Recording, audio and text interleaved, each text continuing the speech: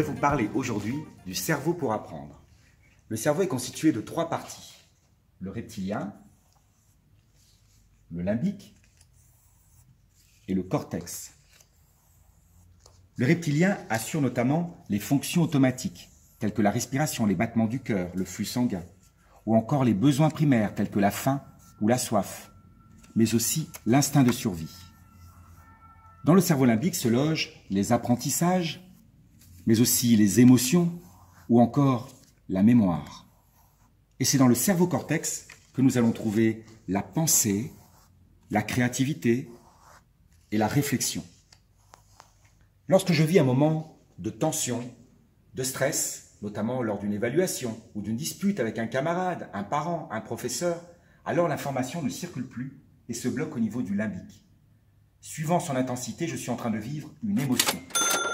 Peuvent être notamment la peur, la tristesse, la colère ou encore la joie.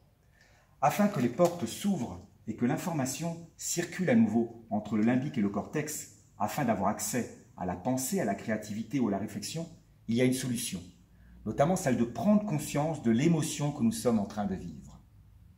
Alors vous avez bien compris Le cerveau est constitué de trois parties, le reptilien, le limbique ou encore le cortex, avec pour chacune de ces parties des fonctions bien particulières.